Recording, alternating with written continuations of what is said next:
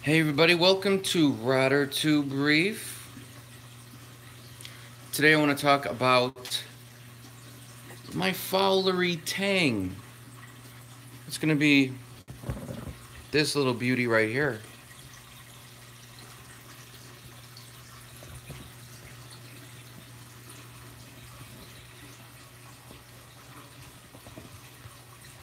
How you guys doing? Happy Saturday. Get some footage of this guy first. This video is going to be on this guy, the Fowleri Tang. Sorry about the glare.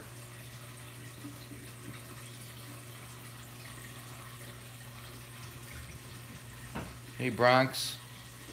So this is a live stream. Been doing these every Saturday morning. I'm talking to the subscribers. Hey everybody. Hope your weekend is good. Even though it was a short week for most, I barely made it to the weekend. The sun's hitting this tank pretty hard. But I wanted to talk about this fowleri tang, this beautiful fish. Hey Rob, what's up? There's a Naso Tang video on that guy coming soon.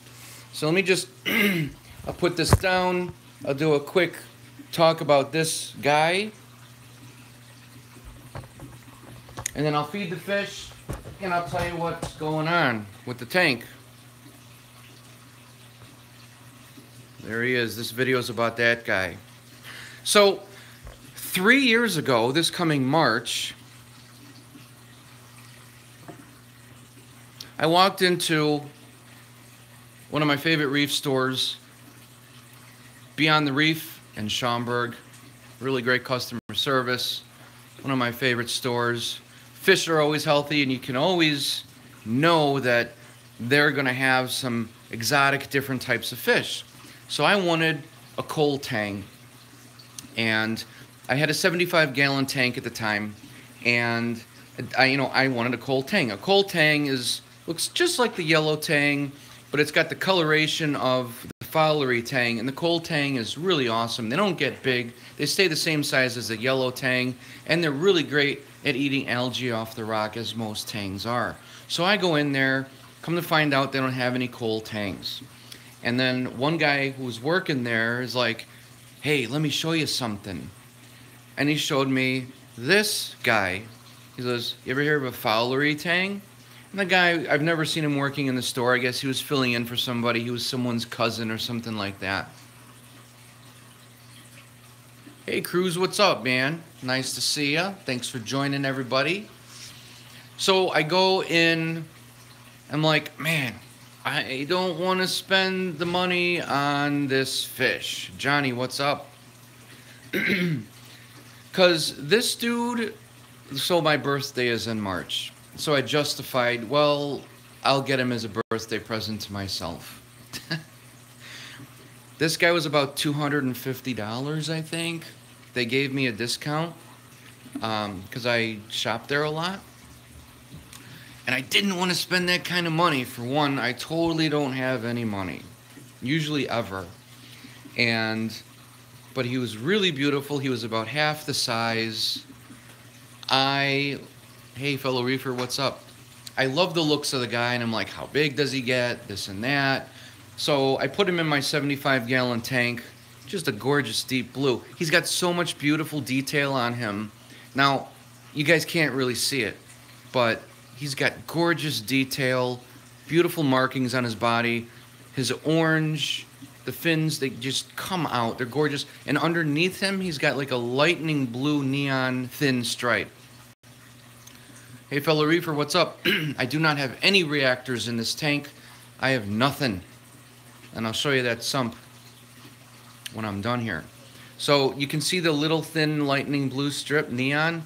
Gorgeous, gorgeous fish. Long story short, he got to be too big for my 75 gallon tank, and I actually brought him back to the store to trade him in. And I didn't want to, and they were like, yeah, we'll, we'll totally take him back. We'll give you full store credit because he's such a beautiful fish. He's not like a regular fish because usually they won't give credit. And I looked at my five gallon home depot orange bucket where he was chilling out in. And they're like, this dude is such a nice, laid back fish.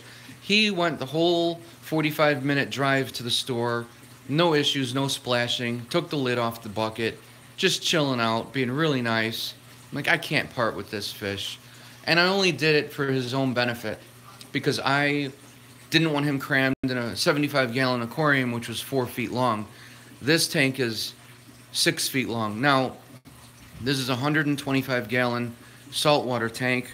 and I wound up getting this tank because, well, I needed more room for that guy. So, because of him, that's the main reason I got my 125 gallon tank. I wanted more swim space for him. Now, these guys, they need more tank space than this. He's totally fine in here, but I'd like to get like a 265. My ideal goal is, if ever I get another tank, but to be honest, I'm really happy with this one. These guys aren't really that crowded in here at all, but I'd like to get an eight foot long tank. Brazil, what's up? Pro Corando Nemo, I don't know how to read that, but from Brazil. Are you saying you're from Brazil?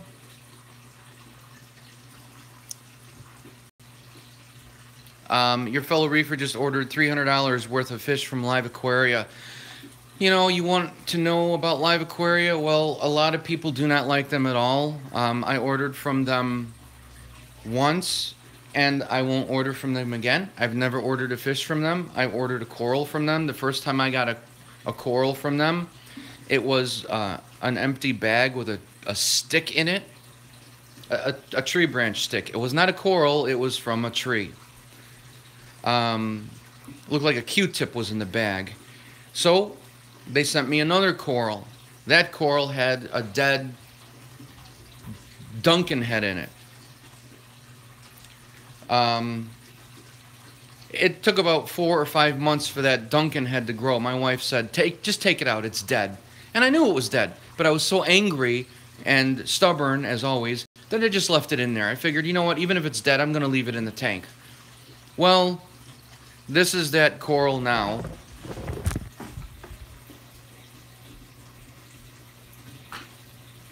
It's got five heads on it. It's still waking up because I just turned the lights on. But anyway, I said I'm never going to order from them again. That's just my experience. I'll never order a fish online I like to go and see them in person, but some people don't have that option, and that's fine. But as always, I don't care where you get them from, always quarantine the fish.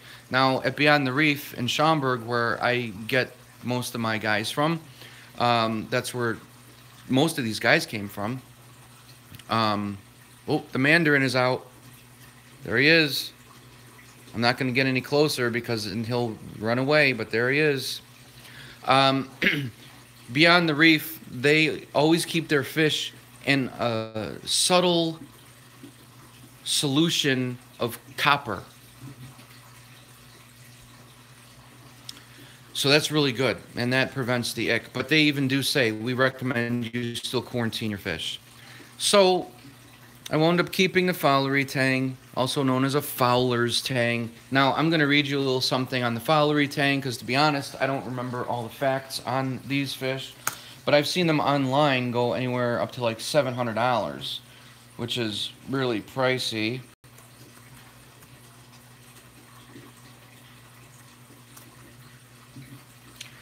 So let me just read you this. the fowleri tang, also known as the black spine surgeonfish, and they call them surgeonfish because tangs, if you see them back up into one another, they have a little spike that comes out. It's actually part of their spine, and they use that to fight. It's razor sharp, and it's dangerous. Like a scalpel will come out and they'll fight. Um, I've never had an issue. These guys always get along great. So that's where the surgeonfish name comes from. It's one of the more beautiful saltwater fish. A blue head with characteristic arcing lines behind the eyes sets this species apart from other tangs. A brown body, yellow dorsal fin, and white lyre accent the tail also make this specimen a true standout. It is a gorgeous fish. In person, it's just amazing. Um, in its natural habitat, the fowleri tang is generally found in clear seaward reefs and drop-offs. A 360 gallon or larger established aquarium with large amounts of rock is necessary to provide both plenty of swimming room and territories within the rock. As you can see, I'm failing on that. Although tangs will eat meaty foods along with other fish in the aquarium, it's important that they off that they're offered plenty of marine-based seaweed and algae because tangs are herbivores, so you got to provide that stuff for those guys. And I feed them bok choy and collard greens from the grocery store, and they love it. Um, the seaweed algae will strengthen their immune system, reduce aggression, and improve their overall health.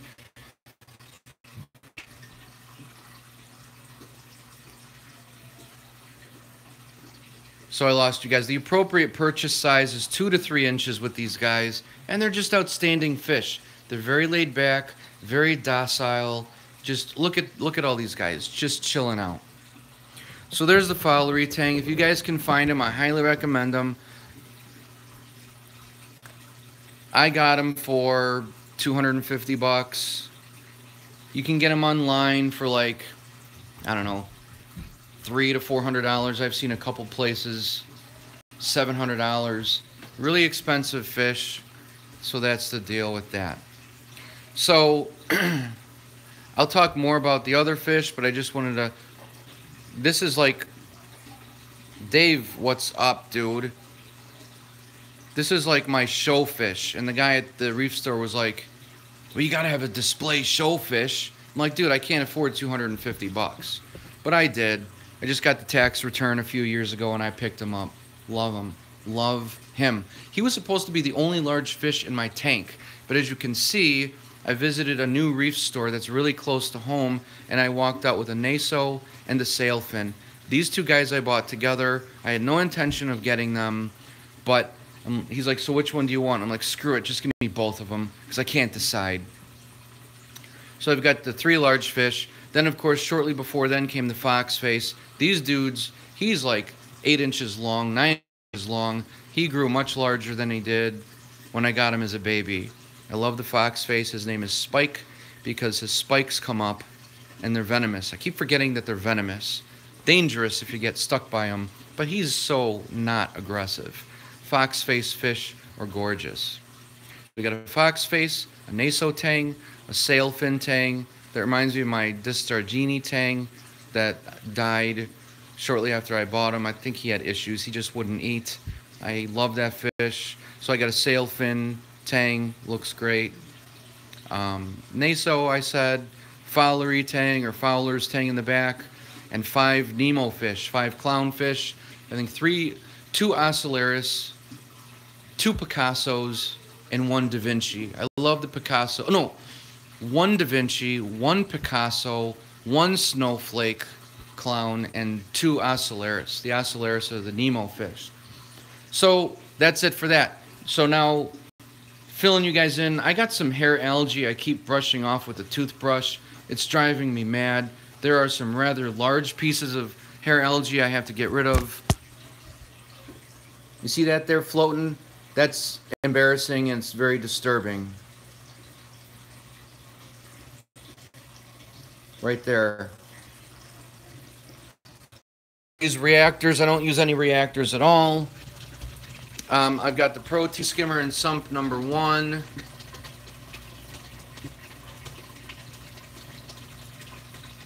Which is on for six hours a day now only. That's it. Water comes in. Protein skimmer, water goes out.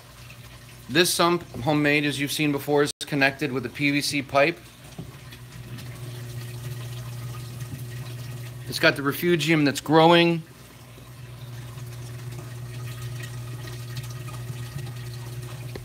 The light.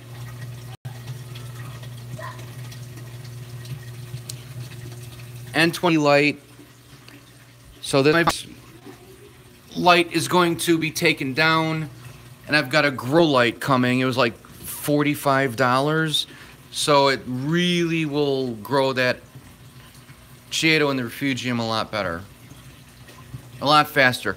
That Chaeto is going to house the little copepods and amphipods and it's going to get the nitrates out of the system. So today, I'm going to do a water change and get a lot more of this hair algae out of here. This hair algae is locking up the phosphates and nitrates. I got to get it out of the system and do a decent water change because it's it's starting to grow more and take over the tank a little bit. You can see the coralline algae, which is great. That's what you want.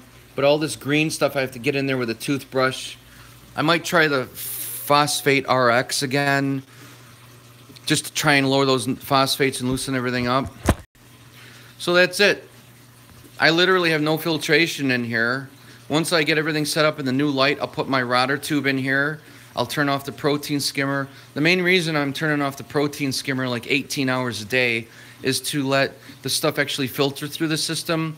I'm relying more on the biological aspect of filtering. I'm letting the rocks and the sand and the copepods and amphipods and the plankton, uh, phytoplankton and all that take care of this tank naturally. So I've got nothing and I dose nothing. I just do water changes every week of 10%. So that's it. I literally have water coming into the refugium, going out. I've got water coming into the second sump and going out. There's no filtration. And I read that people are like, well, do I clean my refugium? Do I get rid of it? Your best bet is to just never clean it, never touch it, let it capture all that stuff because the plankton, phytoplankton, copepods, amphipods, they're going to live there. They're going to eat the detritus, which is fish waste, and the uneaten food, and it's going to be like a, a cesspool of nasty, but that's what those little critters eat and they thrive on, and it's beneficial to your tank and your coral. Everything's kind of waking up. Star polyps are looking really good. I removed this rock bridging between here so the star polyps cannot get on this side. This is going to be my star polyp colony. As you see, it's doing really well. Uh, more of a gap for the fish to swim through. And then when I get some more money, this side is going to be more coral. I'm going to get some more orange and red colored coral to really pop. These zoanthids are really nice, but it's kind of a reddish color of the rock, which is purple, which is the coralline algae. I really like it, but there's no there's no contrast between the coral and the rock. So I want to get more colors, and right now this is the only thing that pops. This Duncan coral has got, God, easily 20 heads on it, maybe 30. I'd like to take that somewhere and frag it because I don't know what I'm doing. I'm sure it'll be fine. I'll have to look at some videos on that possibly. Thanks, man. Thank you so much. And thanks for your help, too, VK. So, I never really ran reactors because I'm not one for keeping up on stuff. Because what if you take too much of this out of the tank and too much out of that, and you dose too much of this, and then you've got to add you know, calcium because that counteracts this. It's like a balancing game, you know? So I'm just trying natural nature. I use Red Sea Coral Pro Salt, which is really good. I've got Miracle Mud, which I've seen a difference. The tank looks more crystal clear. These fish look like they're floating in air. The back of the tank has got algae.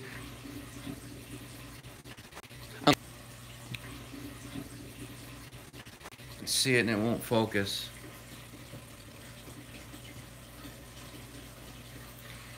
Anyway, let me feed these guys so you guys can see that. I know you enjoy watching them eat, and they love to eat. So I'm going to get some seaweed right now, Rod's Food seaweed, and then I'm going to feed them Rod's Food. Let me turn off these pumps really quick, or the power heads, so it uh, lowers the current. Not much flow going on in this tank.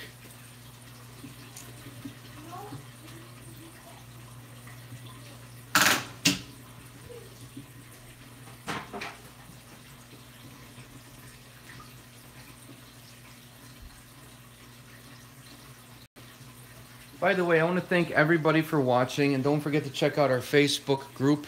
Check out the video description and link below. And I also have links to everything I use, pretty much for the most part, in my tank.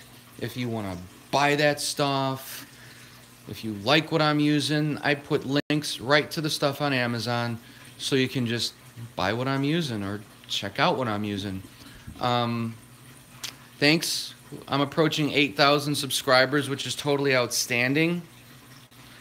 Hey, your fellow reefer. Yeah, Scott and I are going to do live streams together.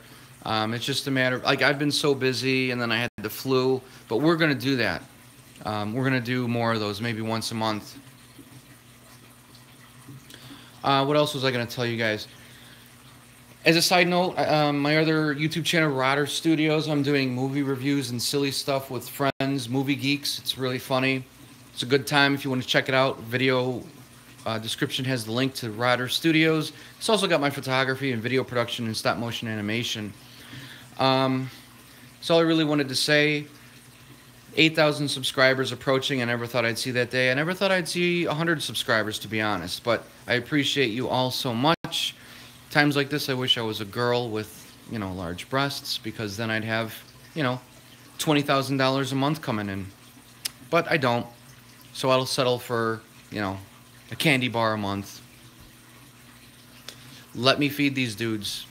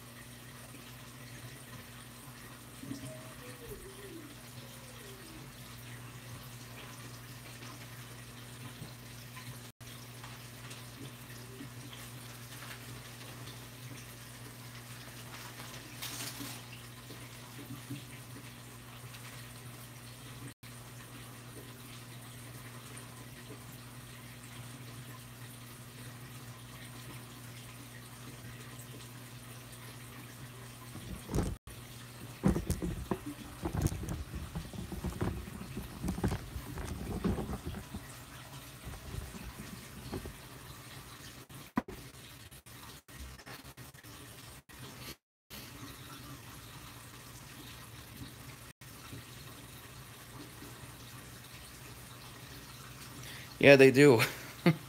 it's weird because they don't follow anyone else. My wife will walk past the tank, they don't care.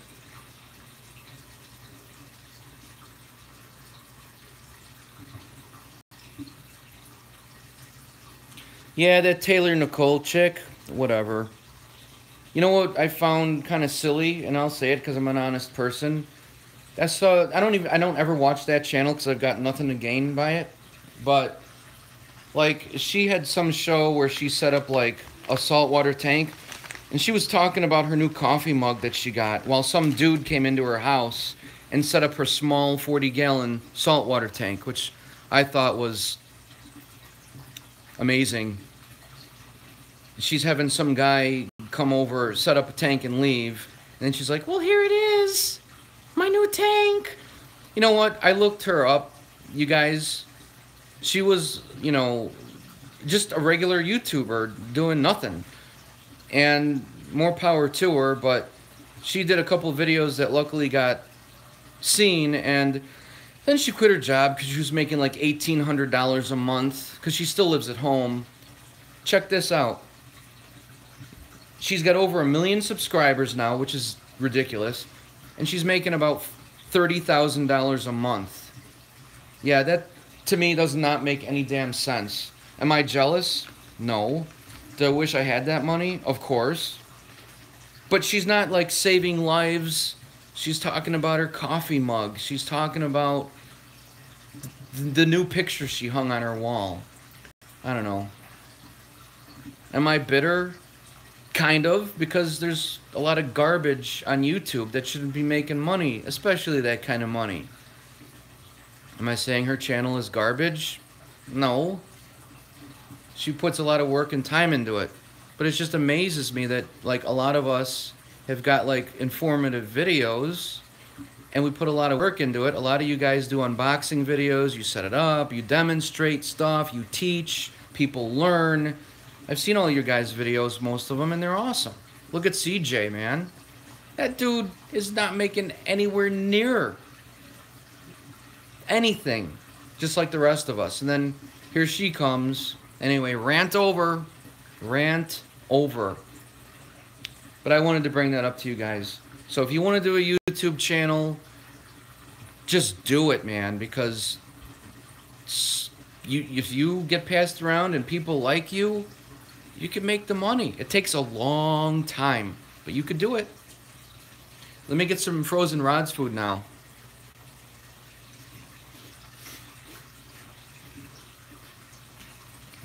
Yeah, I scope around the web. I see you guys. I don't have time to leave comments on everybody's channel. But there was a time where I used to go through my subscriber list and I would send thank yous to every person who subscribed. A quick little note, customized. And I do watch a lot of your videos. Just don't have time to comment on all of them. But I do check them out.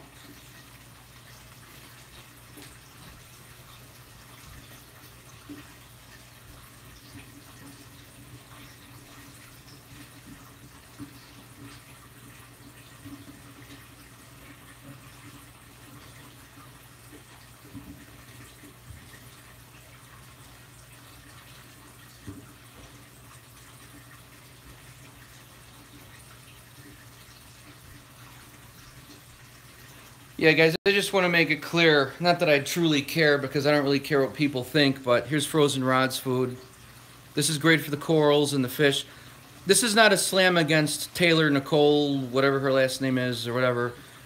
You know, again, more power to her. That's really great. If people like her and they can take moments out of their day to watch her for whatever reason, that's great. I'm just saying that that's just, in my opinion, way too much money. I, I, I don't know.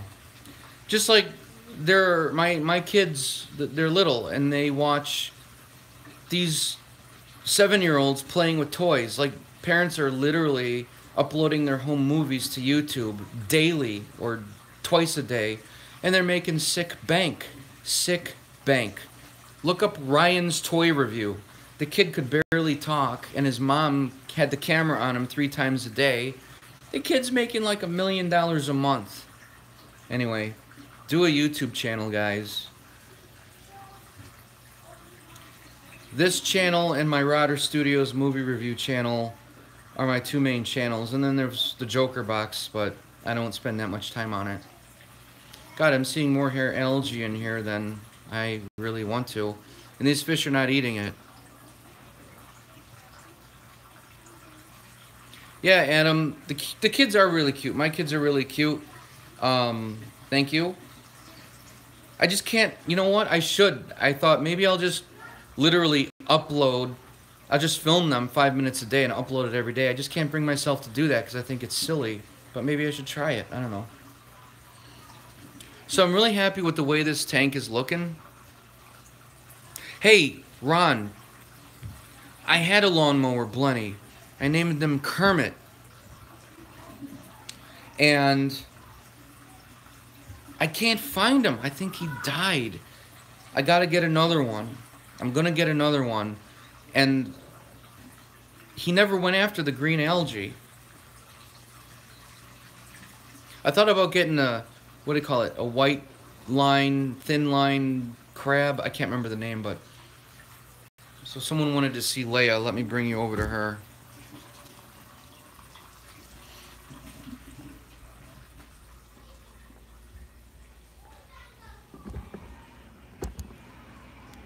Hey, Lammy.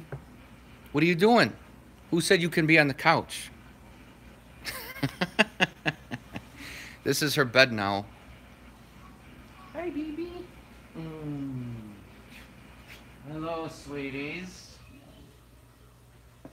She's so soft, so loving, and so laid back. She loves the kids. But our furnace went out last week, and the furnace guy came in. She was not having that at all she she's eight months old now, and she did not want any part of that guy in her house, right, baby? Yes. Good girl. So there's Leia chilling out. She's a really good girl. Jack's chilling out by daddy.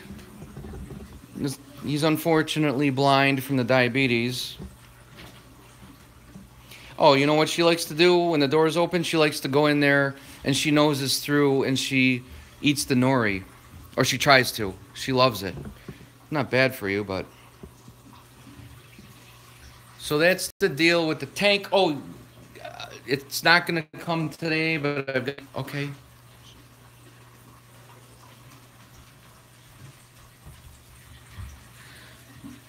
Well, I keep losing connection here.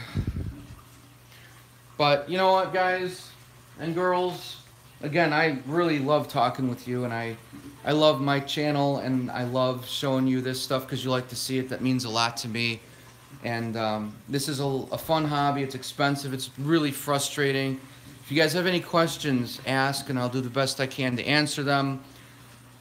Go to the Facebook page, join Rotter Tube Reef Club because there's so many people on there with questions and they're more than willing to help. I really appreciate that too.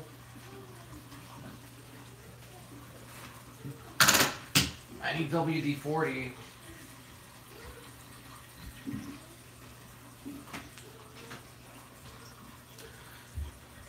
So that's it for now. There's the tank. Thanks for watching. I will be in touch with you guys as always. And the next video I'm going to show you is the light that I got off Amazon. There's actually a link to that right now. The light for the refugium. I'm going to do my best to clean this hair algae out of this tank today. That's driving me nuts. It just, it's like a cancer. It just will not go away. I, I hate it. I'll see you guys later. Have an awesome weekend and stay warm.